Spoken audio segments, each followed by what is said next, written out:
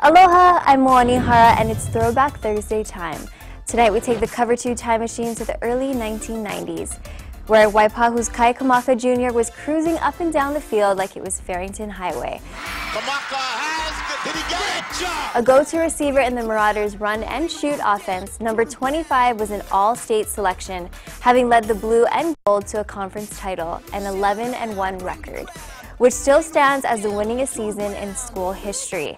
From player to coach, Kamaka led Pearl City to 15 wins in two seasons as head coach starting in 2010.